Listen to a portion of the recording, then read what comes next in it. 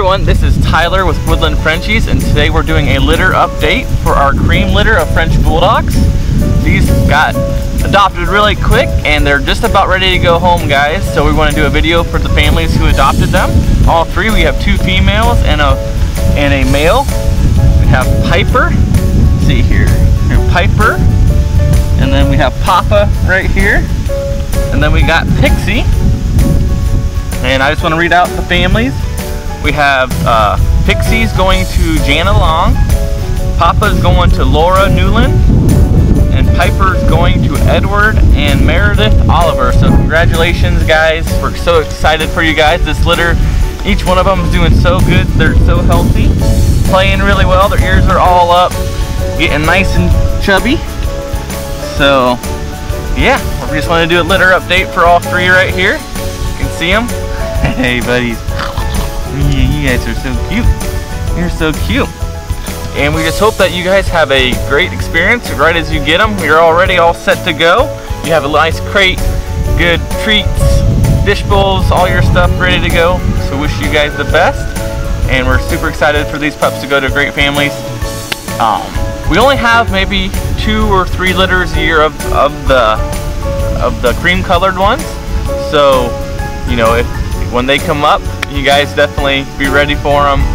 Uh, we do, you know, only have a couple of those, so we can just we can just do the rest of the video, just kind of watching them play here, show them how they're doing. All